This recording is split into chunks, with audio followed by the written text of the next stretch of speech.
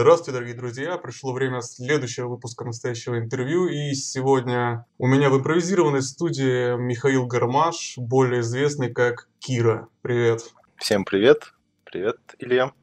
Так, ну, думаю, мы можем с тобой начать. Э, первые мои вопросы будут э, касаться твоего выступления на All Star, с которого ты вернулся буквально пару дней назад, верно? Нет, я вернусь сегодня, потому что а. у меня довольно интересный способ путешествия. Вот, как раз хотел спросить, как ты добрался обратно. Почему интересный? Ну, добрался хорошо. Интересно, потому что я живу в отдаленной части Украины. В итоге мне сутки ехать до Киева, из которого я пользуюсь аэропортом. Поэтому у меня путь обычно занимает до аэропорта сутки или более. А потом уже начинается обычное путешествие, как у всех. Ну, багаж хотя бы не потеряли? Два раза подряд на обоих Алстарах. Но только когда я летел туда. Оттуда уже все в порядке. Ну, вернули? Да. В Австралии на пятый день, в Америке на второй. Отлично. А, давай поговорим побольше об этом турнире, потому что этот турнир был, э, наверное, первым столь масштабным и звездным в твоей карьере. Да, ты там принимал участие в вайлдкарте, но все-таки уровень игроков там несопоставим корейцами или даже американцами. Как в целом у тебя, какие у тебя впечатления остались от турнира? Ну, из-за того, что нам нужно было в кратчайшие сроки сделать визу и прилететь, соответственно, почти все прилетели, вот прям за день до турнира, Алекс вообще в день турнира, просто в час ночи, то мы не смогли как следует отдохнуть и из-за этого полностью в полной мере насладиться турниром. А так я был довольно-таки удивлен, во-первых, легкостью, с которой я мог общаться с проплеерами. Я думал, что будет, о май гад, я не могу связать пары слов, или они будут с... в общении со мной смеяться. Этот момент присутствовал на моем самом первом вайлдкарте. Потом эта команда поплатилась, даже не прошел в плей-оффы. Вот. Также я удивился, когда проплееры спрашивали у меня, а какие мастеры ты юзаешь? А как думаешь, какой лучший чемпион в один на один?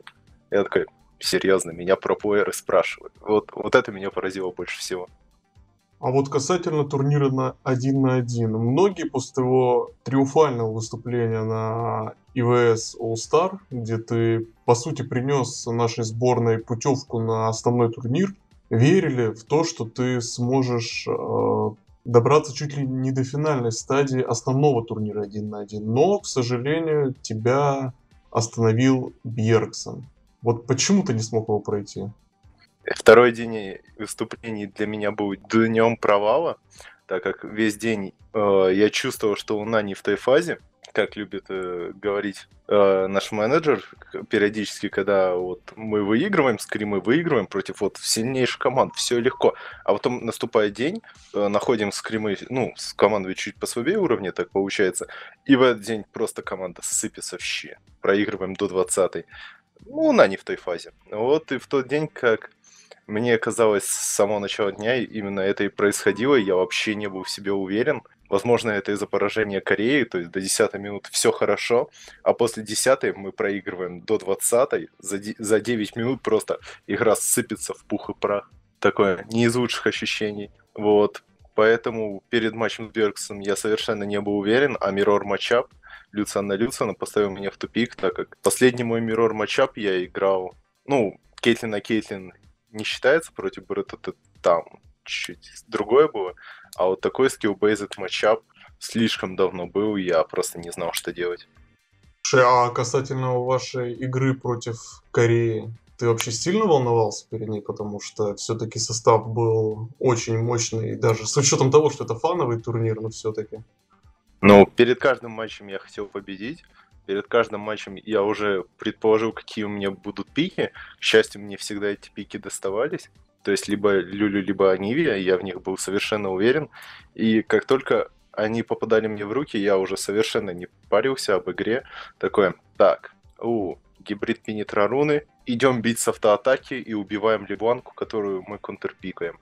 Ну, контрпикнули этим персонажем. Все пошло как по маслу. А вот потом что-то роумы, командная игра и все. Ну а так нет, волнения не было. У меня хороший пик, мне не о чем волноваться. Тебя, тебя не переполняли эмоции, когда тебе удалось один на один убить Фейкера? В этот момент я считал, что он меня трольбасил, потому что в Солоку, когда я пытался так убить противников, то они просто это доджили, а Фейкер не посчитал нужным задоджить скиллшотик и умер. Поэтому, с одной стороны, я был рад, что его убил, с другой стороны, я знал, что он не отыграл на все сто, и из-за этого это было не, не так круто, как я бы хотел.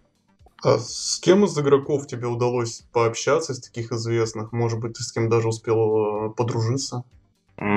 ну, подружиться, если обменяться контактами, то ни с кем. Ну, а так, пообщаться с Дайрусом, с Бьорксоном, с Фрогином. Вот с ними я общался больше всех. Больше всего с Фрогином, потому что после моего вылета один на один мы с ним каждый день играли по 20 матчей один на один. Он тестил всякие такие несерьезные пики, которыми хотел побеждать. Но в итоге это не помогло ему, и нас он тестил с кассингом, а все, что тестил со мной, он проигрывал. У него не было уверенности, он не смог победить. Тебя вообще кто-нибудь как личность удивил? Потому что, ну, одно дело мы видим их на экране, а вот другое дело, когда мы можем, так скажем, в закулисье их увидеть, там, пообщаться, как, а, как у тебя вот было. Ну, меня удивило, что Хуни не работает на камеру, а он и в жизни такой. То есть он ведет себя действительно так же, как мы видели на, на камере. Со своим хо-хо, ну, не, правда, этого не было, но вот со своими криками, это вообще жесть какая-то. Вот просто, ну, не бегает, но серьезным его встретить можно не так часто. А, ну, из таких, которые удивили, удивило, что, м- не знаю, Фрогин такой, какой он есть. А, ну еще Фейкер меня потрольбасил.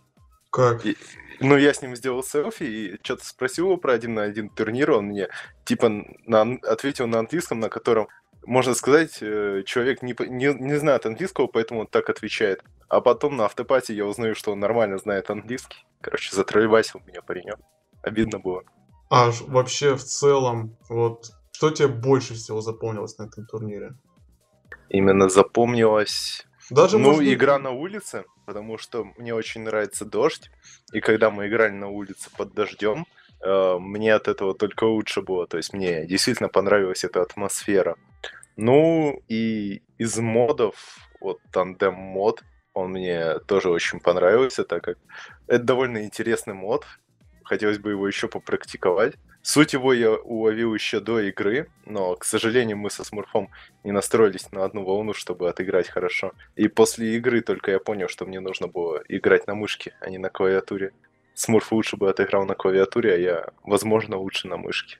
Слушай, а вот касательно вот именно вашей игры, потому что, к примеру, тоже Alcior, по-моему, даже какие-то еще аналитики отмечали то, что, в принципе, вот сборная СНГ не сильно страдает в плане механическом, то есть механика игроков в принципе равна их соперникам. А вот в плане шотколлинга мы все-таки проседаем, но это не так уж страшно и в принципе уровень не, не такой сильный, э, не так сильно разрыв.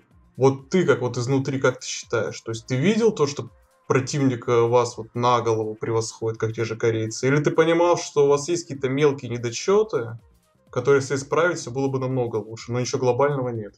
Ну, там, если сравнивать с корейцами, то не, не на голову, а на 5, наверное. В то время как Тайвань точно не превосходит на голову. Ну, то есть на половину, наверное. Именно по карте аутпоев от них не было. Аутпои были на линии, и из-за которого мы слишком пострадали, и наши последующие файты просто сыпались из-за отсутствия равности, у них преимущество, а у них пик такой, что нам сложнее было. И Америка, вот Америка точно выше нас по уровню игры командному. Ну, как такового шотколлинга у нас в команде не было. То есть максимум, что было гол на дракона.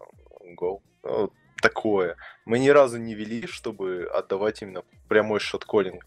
А шотколлинг на деф, он довольно простой.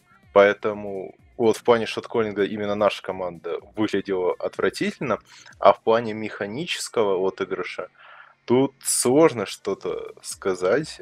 По-моему, мы механически просто старались поиграть, а соперники нет.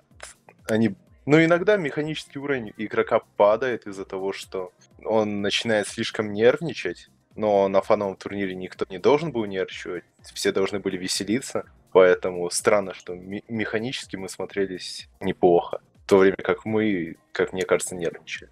А давай в целом с тобой сейчас э, поговорим про нашу сцену. Вот в целом, как ты вот оцениваешь нынешний уровень СНГ? Вот ты уже играешь несколько лет на высоком уровне. Вот изнутри ты видишь, что уровень растет? Может, ну это сложно сказать, так как со сменой меты нужно расти заново. Из-за этого рост региона зависит от того, насколько он быстро приспосабливается к мете и, и механически растет э, каждый игрок. Соответственно, чем дольше держится регион, тем выше его механика. То есть в механике мы все однозначно выросли и уже недалеко от, от больших регионов. В то время как командная игра у нас все еще просевшая, так как довольно сложно русским игрокам серьезно относиться к игре длительное время и тренировать командную игру. Нас слишком часто бомбит, поэтому это у нас прогрессирует намного дольше. Ну и в плане шотколлинга в целом, да, СНГ точно развилась, но оно развивается медленнее, чем остальные большие регионы. А вот, кстати, после Альстара вышло интервью с твоим мейтом э, Лексом, который довольно жестко высказал, высказался о СНГ-сцене, сказав, что у нас нет почти ни у кого тренеров, у нас смешные зарплаты, то есть полностью, так скажем, разгромил ту инфраструктуру, которая у нас сейчас есть в СНГ. Ты в целом согласен с его такой вот оценкой, то что все на очень-очень низком уровне по сравнению с э, другими регионами? Ну, как по мне, разгромить можно то, что построено, а в, в СНГ построена только лига, и, как он и сказал, отсутствуют зарплаты, ну, так, э, органи... зарплата от организации не хватит обычному россиянину, чтобы жить месяц. Соответственно, мы никогда не сможем называться профессиональным регионом, пока у нас зарплаты не будут позволять зарабатывать денег больше, чем нужно на жизнь. Поэтому наш регион точно никогда, ну, не, в данный момент не отнесется к профессиональным, когда-нибудь, я думаю, надеюсь, все-таки сможет. И отсутствие тренера-аналитика мешает развиваться команде в случае внутрикомандных проблем потому что из пяти человек не каждый сможет слушать другого. Из-за этого нужен кто-то выше них, кто будет контролировать атмосферу в команде. И если такого человека нет, а человек из команды не в состоянии, хоть один не в состоянии быть настоящим лидером и держать всех, а таких людей слишком мало, вот совершенно мало, то вот и возникают наши проблемы с, с тем, что люди не могут играть с другими. Ну вот на совершенном уровне там а, полный отказ идет из-за этого либо из команд. Также... Ага, продолжай, продолжай. Когда вот зарплаты станут более стабильными э, и хорошими, то количество игроков в СНГ-сцене возрастет, а ливов из команд уменьшится, поскольку будет невыгодно ливать из команды, в которой ты получаешь деньги. И, соответственно, у игроков будет намного больше стимул играть. А на данный момент мы даже полупрофессиональной лигой называться не можем. Ну, посмотрим, что даст, что дадут нам новые сезоны. Но, судя по последнему, мы аматорская лига на данный, ну, аматорский регион. Слушай, а вот в целом, если оценивать уровень э, финансов в СНГ, вот скажи, вот у тебя сейчас есть жена, как я знаю, да, есть ребенок. Тебе хватает вот полностью на жизнь того, что тебе дает э, киберспорт? Ну, пока я побеждаю, да, вполне достаточно. Но вот э, если бы хоть раз не выиграл, то, думаю, у меня начались бы финансовые проблемы. А так, пока что все ок. Угу. А вот мне отсюда вытекает вот вопрос, который мне очень интересен, потому что сразу два вопроса я тебе могу задать после своего интервью, которое я брал ранее у бывшего менеджера Gambit Gaming. Первый, он касался СНГ-сцены, о чем мы с тобой поговорили, но вот Хотел тебя спросить, э, Му сказал в своем интервью, что одной из главных проблем э, нашей сцены является то, что не уходят уже старички. То есть они, получается, циркулируют между командами, и никакого, по сути, роста нет. И когда они сменятся, тогда и будет уже прогресс нашего региона. Вот тут ты согласен с ним? Нет, потому что старичков у нас осталось довольно мало, а если мы глянем на европейский регион, то там старички все еще присутствуют, и все еще регион развивается и довольно неплохо. К примеру, Expec и Star длительное время были в одной команде. Сейчас они переместились в другие, и все еще они считаются довольно сильными игроками. Так и у нас осталось не так много игроков с первого сезона, э, которые все еще присутствуют в лиге. То есть из 40 игроков, я не, я не смогу сейчас точно посчитать, но я думаю точно меньше 10. В то время как в европейском ССС ну, точно меньше 10, возможно, даже 5 плюс-минус. Но если мы возьмем начало УЦС, то точно больше 10 игроков циркулирует по, по кругу. Так что данное, с данным можно согласиться, но лишь отчасти. Просто их, да, их 10, это многовато. Нужно уменьшить. Но сложно сказать. И тогда второй вопрос. Еще, когда я общался с вот Му, мы с ним обсуждали уже не свершившийся трансфер Gambit Gaming. Мы с ним обсуждали, в частности, э, то, кто мог бы прийти в определенные этапы истории э, Gambit в команду. И он сказал мне, что когда уходил Алексич, они всерьез рассматривали твою кандидатуру на МИД, но ты в конце концов сам отказался от этого. И это выглядит немного странно, потому что, пожалуй, для, наверное, 99% игроков играть на ЛКС а для русских игроков еще играть на ЛКС за гамбит было некой мечтой. Особенно странно это, учитывая, что, разумеется, в Европе был бы и высший уровень зарплаты. Вот, можешь сказать поподробнее, почему ты отказался от такого перехода? В тот момент в СНГ зарплат вообще не было, так что там не высший уровень она хотя бы была. Ну и была бы действительно неплохой. А так, я тогда, это был первый турнир One, который я победил по Лиге Легенды вообще. Нет, второй был, на который я ездил. Тогда я очень верил в свою команду, мне очень нравилось с ними играть. И я был довольно привязан к Сейше, который меня научил очень многому. И также он был первым шотколлером в моих командах, от которого я узнал, что действительно шотколлинг это очень много. И я не хотел уходить, особенно у меня в тот момент не было заграна, мне нужно было бы его сделать в кратчайшие сроки, получить визу, это много проблем, а до ЛЦС оставалось две недели. То есть а перед этим мне нужно было еще бы пройти проверку хотя бы, сыграть с ними, чтобы они посмотрели, достоин ли я игры. Но я не был уверен, что выстою на Европе тогда, потому что я еще не был уверен в своей механике и всему остальному, особенно чемпион пул.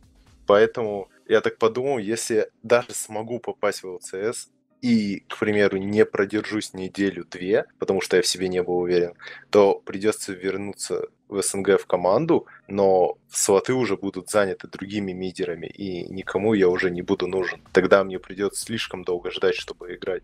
Поэтому я решил просто продолжить играть в СНГ и постепенно развиваться. Но сейчас ты уже не жалеешь, да, об этом, на своем выборе? Нет, ну как, я бы хотел посмотреть, что бы из этого получилось. Так что вот решение мог бы изменить, но, как мне кажется, меня просто бы не взяли из-за того, что я бы не успел бы на первую-вторую неделю, и взяли бы другого мидера, который, с которым бы они уже выступили на самой сцене. А вот сейчас, по прошествии сезонов, как ты считаешь, вот если бы тебя позвали играть в команду уровня ЛКС, ты бы смог там играть, показывать хороший уровень, показывать хорошие игры? Многое зависит от самой команды, но показать хорошую игру мидеру, если он в солку поднимался до чалика хоть раз, не так сложно. Просто отстоит мид, отформит, не умрет, там, покидает АОЕ скиллшот и может сделать что-то красивое. Это не так сложно. Но вот э, сделать максимум команде, зароумить, если требуется, или прошотколить какие-либо вещи, вот тут уже возникает сложность. То есть чуть ниже среднего мидера ЛЦС я бы точно был. Может даже средним. Но вот побеждать тут уже все бы зависело от того, как я влился бы в команду, или она бы смогла сыграться со мной. Слушай, а вот, к примеру, после All-Star а, что было довольно интересно наблюдать, а, выпускались различные видео, так скажем, там, интересных мувов, классных моментов, и вместе с моментами про какого-нибудь Фроггена, Фейкера, я не знаю, и прочих. Были моменты с твоими какими-то очень интересными мувами. То же самое, когда ты убил Дабллифта, переиграл Фейкера. И это свидетельствует о том, что, во-первых, ты играешь хорошо, ну, вот лично мое такое мнение, и то, что тебя в Европе уже начинают узнавать. Вместе с тем вытекает вопрос, тебя вот после All-Star и вообще за последнее время тебя ни в какую команду не звали из Европы? Это конфиденциальная информация, не могу ответить. Одно точно, этот сезон я играю в нашей лиге, так что фанаты русские можете не волноваться. Так, ну, на данный момент ты стоишь в Hard Random, вы готовитесь к новому сезону э, Стар-серии. В вашем новом составе, если не ошибаюсь, будет играть стажер на в джангле. Как ты в целом оцениваешь боеспособность э, вашего состава перед новым сезоном? То есть сыгрались ли вы уже, либо еще очень-очень много работы предстоит? И в целом можешь э, сказать, каких команд ты лично сам будешь э, остерегаться в новом сезоне? Ну, если обсудить сыгрались, мы каждый месяц тестировали нового Адекери, так что сказать, что мы в пятером сыграли сложно, так как когда к нам пришел Miracle, то мы не успели особо поскримиться, но сами скримы выглядели довольно весело. Как будто не команда тестирует а Декери, а Декери тестирует команду, потому что во всех играх он показал себя отлично, а вот команда что-то фидила и фидила. Это довольно интересные скримы были. Да, ну а так я уверен в каждом члене своей команды и уверен в том, что на сей раз шоткол у нас будет, и из-за этого побеждать будет не так уж сложно. Сыгранность, как мне кажется, зависит от уровня игроков каждого. Если каждый ожидает от другого высокий уровень игры, то и сыгранность будет выше. Соответственно, показать крутые мувы командные или нет, мы сможем, и тимфайты наши будут на уровне. А, по твоему мнению, на кого из команд в новом сезоне, кроме вас, можно будет посмотреть с интересом? Ну, как ты считаешь, кто перспективен? Чей состав? Но для этого нужно вспомнить вообще, какие команды есть. Это довольно сложный вопрос, учитывая, что каждая команда потерпела изменений, за исключением Solarwind, если не ошибаюсь, которые стали Just MSI, то, ну, просто мы не знаем, что от кого ожидать. Изменился сезон, прошло полгода, и каждый может, ну, почти полгода, каждый может сыграть как угодно. Может быть, кто-то уже вырос до уровня УЦС. Поживем, увидим. А вот у меня есть такой вопрос а, касательно, в принципе, твоего видения собственной карьеры, потому что, ну, понятное дело, играть это и зарабатывать тем, что это очень круто, но тем не менее, учитывая то, что ты сказал про заработную плату в СНГ и прочее, сразу вытекает вопрос, а вот ты уже думал над тем, вот чем ты будешь заниматься в будущем. То есть, если вот, допустим, там не сложится все-таки у тебя словом, там в Европу не уедешь, там с финансами в СНГ лучше не станет. Ну, конечно, каждый игрок об этом думал, только вначале его мысли такие, а, поживем, увидим. А у меня уже возраст приближается к неигровому, как все считают. Хотя, я надеюсь, я обойду этот момент. И, конечно же, я задумывался об этом. Так как я уже почти закончил пятый курс университета, эту магистрскую буду защищать вот где-то через месяц то я могу пойти по своей специальности, но это преподаватель или учитель русского языка, что на Украине не очень. Не то чтобы почетно, а на этом просто сложно заработать денег, поэтому я хочу, как и мой брат, начать учиться программированию и попробовать себя в этом. Ну, либо сделать то, что я действительно бы хотел, остаться с Лигой Легенд, то есть стать тренером или аналитиком и развиваться в этой сфере. Ну, либо комментатором, социором. Ну, как мне все говорят, особенно те, кто смотрит мои стримы, это мне не дано. Тогда давай с тобой сразу. Сейчас мы с тобой поговорили, по сути, об окончании твоей карьеры, а теперь интересно, как твоя карьера вообще в целом начиналась. Вот расскажи поподробнее, как ты познакомился с Лигой Легенд? Имел ли ты опыт игры в какой-нибудь, я не знаю, Counter-Strike, StarCraft до этого? Как, как ты вообще втянулся в нее? Так, ну, это довольно давняя история. Очень много я начал играть в 13 лет, но Лиги Легенд в тот момент не было, то есть 9 лет назад. На тот момент это был Warcraft 3, но я не играл в него на расстройку, я играл в фан-карты. Доту я не очень любил, так как ее любили все, а я, так скажем, не хотел быть большинством. Поэтому я играл в фан-карты. Ну, были частые фан-карты, типа Пуджварс, были редкие. Мне нравились РПГ, ну, либо вот Пуджварс, Варваки и Tower Wars. Ну, или Tower Defense. И то, и то, в принципе. Очень сильно я подсел на Пуджей в один момент и Варваков. Игры друг против друга, основаны на понимании игры. Ну, Пуджварс не настолько там все-таки попал хуком молодец, не попал жаль. А, но Варваки очень таки были рассчитаны на микроуровень, поскольку у вас есть персонаж, у которого 9 скиллов или 8, не помню.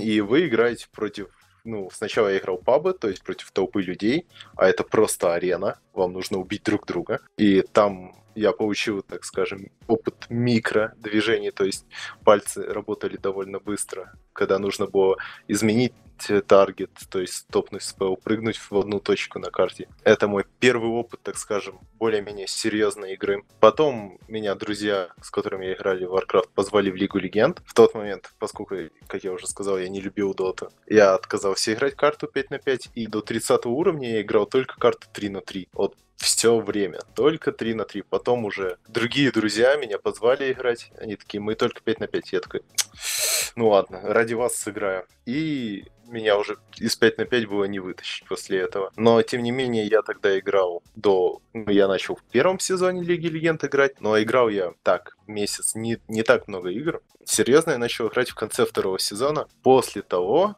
как я съездил на ван-финал по игре Bloodline Champions. Это тоже игра, как Вароки, в плане того, что это арена, отдельный клиент, это не фан-карта. Она и все еще существует, но они уже все забыли, так как она слишком сложная. Когда она только появилась, это было что-то новым, и она не была настолько сложным, как сейчас. Это игра, в которой вы играете 3 на 3.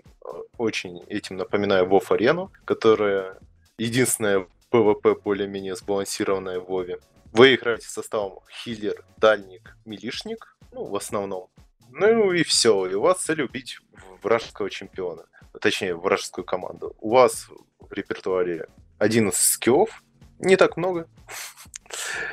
Да, но это сейчас от, в первоначальном варианте было 9. Кстати, Мифи, который играет сейчас за Origin Support, был лучшим игроком в эту игру. Вот. И его, запустился Starwater, самый первый сезон. Там были дисциплины Dota, Point Blank, World of Tanks, Bloodline Champions и, возможно, еще одна игра, которую я не помню. Но на первом первом сезоне Старвадера, вот в самом, было Bloodline Champions, на котором я выступил и занял третье место. После этого меня кикнули с команды, так как я не так хорош был в этой игре. И следующие два сезона так и не смог попасть на ван как игрок. Потом Bloodline Champions умерла, все это поняли, что ему уже не жить, поскольку русский сервер убрали, Старвадер закрыли, игра не развивается. И я решил пойти играть Лигу Легенд вот в конце второго сезона взял себе 1675 Эва. В тот момент, ну, до конца второго сезона у меня не было ярко выраженной роли в Лиге Легенд. Но я решил пойти на мид, так как мои друзья, когда я с ними ходил играть там в 5 на 5, э, они часто просили мид, потому что соло-линия, никто не мешает, все дела. Я такой, ладно, пойду на соло-линию, потому что 2 на 2 я точно стоять не хочу, там дисбаланс полнейший. На топ я не хочу, так как не всегда есть лесник. Так что вот мид, Точно один на один, все в порядке. И после БЛЦ попадание скиллшотов противника или дождь его скиллшотов было на таком легком уровне, потому что в Bloodline Champions вообще таргетных скиллшотов нет, точнее таргет-шотов. И мы могли попасть по противнику только если сможем правильно кинуть скиллшот.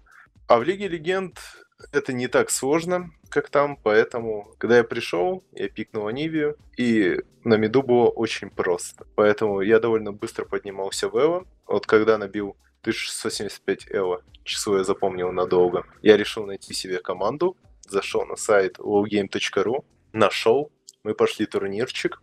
Наш состав был, по-моему, золото, все золото, максимум один платиновый. И на этом турнире мы дошли до финала, в полуфинале выбив команду Фомки, и еще кого-то. И в финале встретились с Flash and the Night, проиграв ему. Они оба этого точно не помнят, но мне это запомнилось, так как я в тот момент был никем, а моя команда их знала, и поэтому такие, мы добрались до таких игроков. Я длительное время еще не знал рус-сцены, потому что просто играл.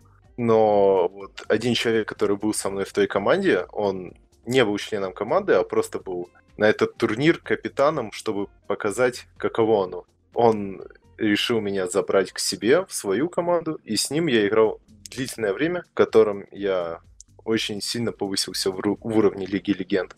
Потом следующая команда у меня с, была со Змей Горынычем, тоже продержалась довольно долго. И, то, и та эта команда где-то по году продержались. Ну или нет, со Змеем Пол. А потом первый сезон Старвадера я уже был знаком с Хартом, который решил собрать команду из нетоксичных игроков с целью дальнейшего развития. Так и собрались стримеры GameZ и Кира, так как я не был стримером в тот момент. Ну и первый ван выигран, а дальше история многим известна. А в какой момент ты лично для себя понял, что вот Лига Легенд, я вот, то есть, э, для, для меня она будет не просто так, ну там, пару часиков в день поиграть с друзьями, а вот будет, можно сказать, твоей профессией. Вот в какой момент понял, что готов ей уделять все больше и больше времени? Но с 13 лет я играл в компьютерные игры сутками, а Warcraft 3 так вообще, ну, если не шел по какой-либо причине в школу, то я играл до того момента, как хотел лечь спать, ну, потому что друзья уже в тот момент не сильно хотели гулять. Я один был такой, но никто не хочет, поэтому я сижу и играю, тем более иногда я играю с ними. Для меня было несложно играть в Лигу Легенд сутками, потому что мне это действительно нравилось и нравится до сих пор. Поэтому я никогда не считал, что это что-то, чему нужно настроить себя, уделять много времени. Ты просто этим занимаешься, потому что оно тебе очень нравится, поэтому у тебя нет с этим проблем. А родители это близкие нормально относились к тому, что вот столько времени уделял там компьютерным играм, что ты потом стал вот прогеймером? То есть э, адек- адекватная была реакция?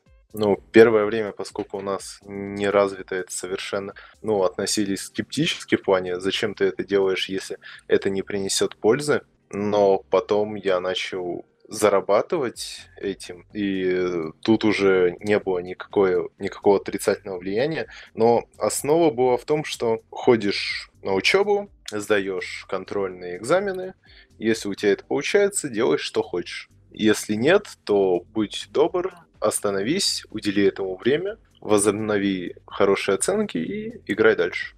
Довольно но сейчас, ну да, это было довольно справедливо, но сейчас, точнее не сейчас, а когда вот первый Старладер закончился, и я, ну, по Лиге Легенд, то там уже была поддержка на довольно хорошем уровне. Что тебе запомнилось больше всего из вот именно раннего периода, то есть до Старладеров, там, ну или можно взять в расчет там первый твой Старладер? Может, mm. какой-то турнир или какое-то событие там? Ну, события, ну, это сложно называть событиями, просто вот было весело команда и золотой slash платиновый побеждать алмазных. На тот момент не было разрыва по дивизионам, поэтому я так их и называю золотая, платина или алмаз команды. Но вот мы золотая slash платиновая low вая команда, побеждаем алмазных, и мы такие, нормас. Вот, вот это вот чувство было отличным. А в первом сезоне Старладдера тоже есть один момент, что мы такие, ну, пацаны, мы сыгрываемся, вот мы со второй попытки прошли, прошли квалификацию, этот турнир мы ничего не сможем сделать, рассчитываем на следующий. Играем, стараемся в каждой игре, каким-то чудом проходим на ланы, выигрываем. Это было довольно прикольно. А как ты, можно сказать, себя совершенствовал как игрока? То есть, э, возможно, ты начал там играть по 18 часов в сутки или после каждой игры пересматривал свои реплеи? Так скажем, в чем секрет, как ты считаешь, вот такого вот своего личного успеха на нашей сцене?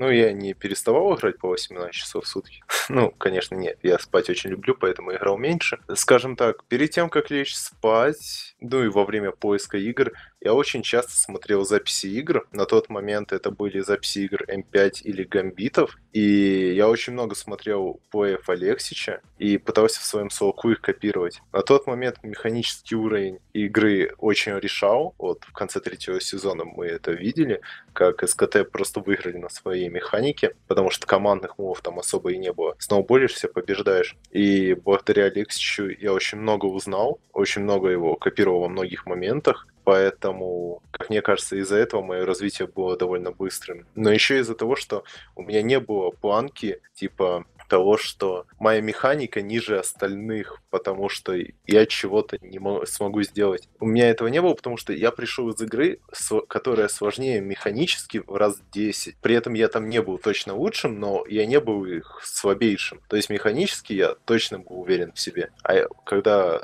ты уверен в себе, то тебе все дается намного проще. Поэтому я запомнил своего Дарина из одного интервью. Он сказал, что я, я уверен в себе и в своей команде стал только после первого турнира ESL, который я победил. В этот момент я понял, что побеждать это возможно, и в этом нет ничего удивительного. И вот после этого упала стена с, с очень большими сложностями. То есть об эту стену многие бьются, но в какой-то момент она упадет.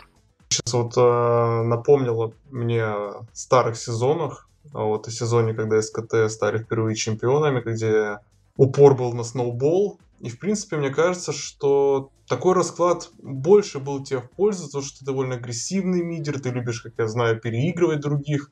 А сейчас же лига наоборот, стремится к тому, чтобы все выигралось именно тимплеем, а роль одного игрока была, ну, то есть, меньше, чем роль всей команды.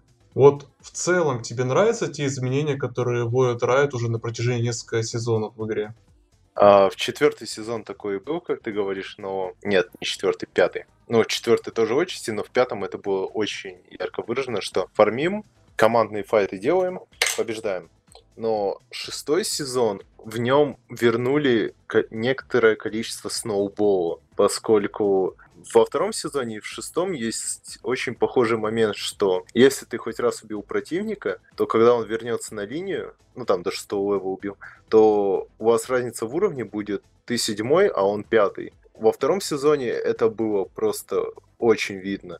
Если ты сделал хоть один килл на противнике, ты начинаешь сноуболиться невероятно. В то время как в четвертом и в пятом ты отдал килл, ты отдал второй, может даже третий. Не, ты не намного просел, ты все еще можешь делать очень много. В то время как в шестом с изменением мастерок предметов снова вернулся этот момент, ну и джанглеры более агрессивные, что если ты Верли потерял хоть немного преимущества, у тебя начинаются большие проблемы, и тебе сложно вернуться в игру. Так что Риоты, как мне кажется, просто каждый сезон меняет игру и проверяет, насколько она интересная, когда команда играет так. Лучшая команда, конечно, которая выиграет. Команда играет по-другому. Следят за этим и делают свои выводы. Мне очень нравится вот то, что Риоты каждый год действительно очень сильно меняет игру. Это придает ей свой шарм, из-за которого она мне уже не надоедает в течение пяти лет.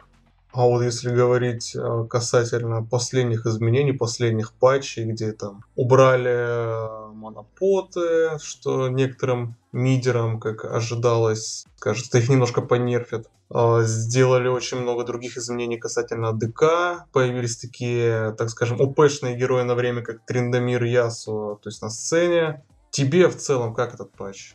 Ну, мне патч нравится, поскольку теперь не нужно покупать варды, наконец-то мидер может экономить деньги, и у него и это спихивать все на джанглера, потому что это в его обязанность входит покупать сейдстоун, а мидер может купить так пинквардик, поставить такой. Ну вот, вражеский джанглер с мидером снесли мне вард. Почему? Ну, они лучше сыграли. Аналаки.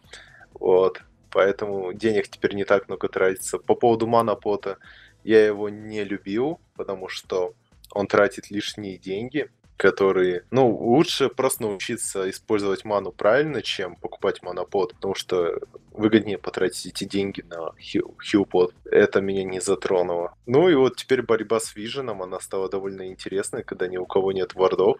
Есть тринкеты, которые и раньше были. Но при этом теперь есть синий тринкет, который ставишь куда угодно, и противник такой, да как он меня видит, где этот синий тринкет? Вот это вот вводит свой дисбаланс. Но это весело, это новое. Игра меняется.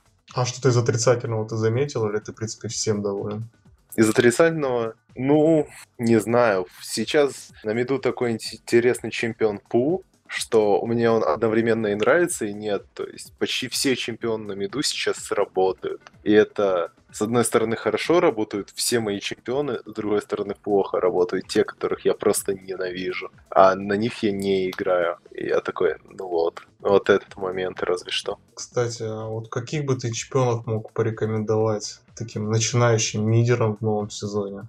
Я всегда рекомендую чемпионов, которыми нравится играть. Вам нравится играть лисином на миду? Играйте. Пока вам это приносит удовольствие, пользуйтесь этим. Кстати, за что ты полюбила Ниве? Ну, это сложный вопрос. В тот момент мне просто понравился ее урон. А после этого я просто не мог от нее отказаться, так как на ней у меня много чего получалось. Но со временем я понял, что я просто всегда любил лед как таковой. Ну и фениксы у нас много сказок про жар-птицу, которая является фениксом. И мне всегда нравились эти сказки, и сам, сам Феникс как таковой. Переиграл я в героев, и там Феникс был очень интересным персонажем. Поэтому, ну, мне нравится лед, и мне нравится Феникс.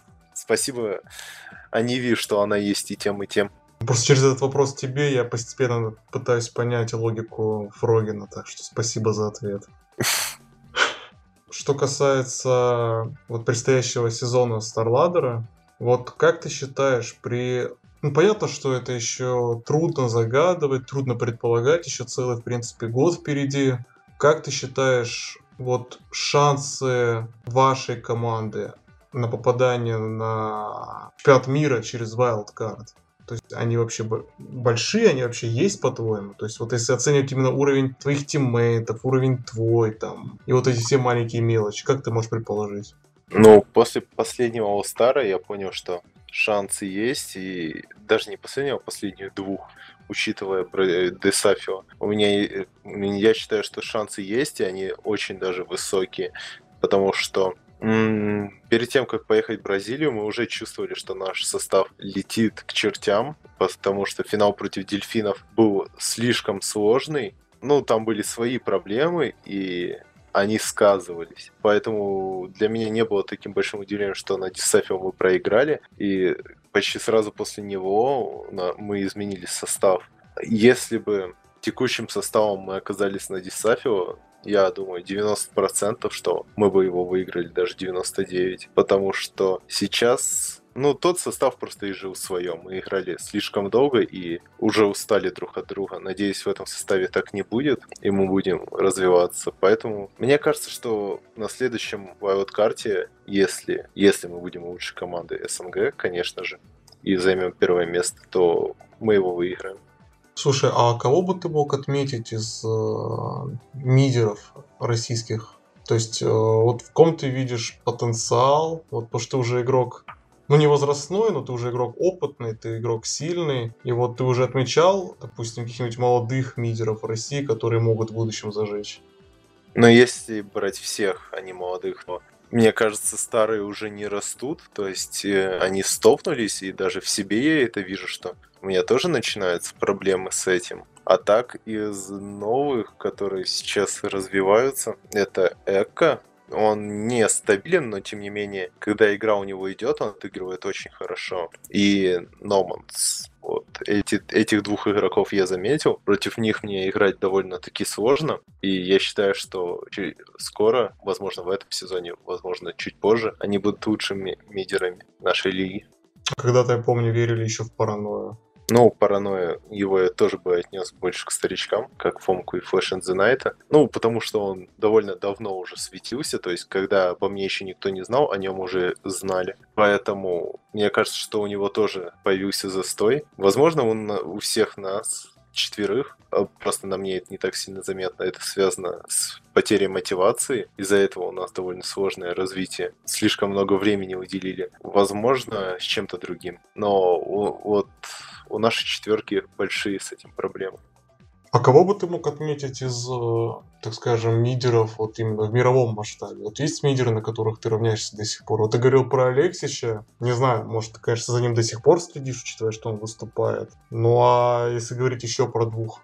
За Алексичем уже не слежу, так как его игр было довольно мало, и его отыгрыш постепенно мне переставал нравиться. Не знаю почему, но мне казалось, он не доигрывает. А так, э, лучшим мидером на данный момент, после того, что я видел и всего остального, я считаю Изихуна, поскольку это человек, который играет на своем чемпион пуле, это единственный его минус, что он не такой высокий. Отлично, просто отыгрывает как нужно, как будто ты играешь против человека, который играет по книжке за чемпиона. Он может рискнуть, он может пойти на определенные риски, но он этого не сделает, потому что его чемпион, ему не нужно это делать. И он этого не делает, и из-за этого выигрывает свои игры. Вот такого мидера я считаю лучшим. На втором месте я бы назвал бы Фрогина. У него очень похожий плейстайл, но есть свои недочеты. Ну, возможно, ему просто не получалось раскрыться с его командой. А в топ-3 Фабивана однозначно, потому что мне тоже очень нравится, как он играет. Его чемпион был высокий на линии, и после нее он отыгрывает отлично просто. Ну, мне вот за этими тремя мне действительно очень нравится следить. За Фейкером в последнее время перестало, потому что он, он меня потрольбасил, и все, не хочу больше за ним следить. Слушай, я думаю, уже пора постепенно заканчивать. Мы с тобой довольно многое обсудили. Думаю, многие многое что узнают. Но напоследок хочу задать тебе вопрос, который, в принципе, возможно, покажется неожиданным. Но вот ты играешь долгое время, ты ездишь на ланы, ты общаешься с различными игроками. И как у всех, в принципе, игроков, у тебя есть какой-нибудь случай, довольно, думаю, курьезный, который ты, наверное, помнишь до сих пор. У Авертума как комментатора это, к примеру, когда его там Сакастер заснул во время эфира. Там у кого-то еще какой-то. А вот у тебя как? Что-нибудь помнишь такое интересное? Mm. Это не случай. Просто все мне говорят, что у меня отвратительное чувство юмора, что у меня его просто нет. Меня это забавляет. Ладно, я думаю, пора заканчивать. Мы с тобой многое обсудили, многое я узнал, ты много чего рассказал. Спасибо большое, что со мной пообщался. Думаю, напоследок ты можешь передать привет своим фанатам, там, организацию поблагодарить, как всегда делают киберспортсмены. Да, это обязательный ритуал для завершения интервью, иначе интервью не будет полноценным. Спасибо всем, кто голосовал за меня. Спасибо тем, кто пришел благодаря моей игре в All-Star. Либо в отвратительной игре, либо хорошей. Ну, кто знает. Спасибо вам большое. Спасибо большое организации Hard Random за то, что поддерживает нас. Ну, думаю, все. А, ну нет, самое важное. Спасибо большое моей семье за то, что она меня поддерживает в этом нелегком деле, как киберспорт. И пока. спасибо тебе за интервью. Да, пока.